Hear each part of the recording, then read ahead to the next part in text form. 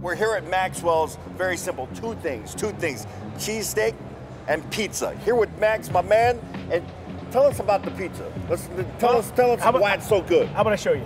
Even better. I like that. Even better. Here comes our Philly right cheesesteak. Oh yeah. Ooh. Here's a Philly cheesesteak.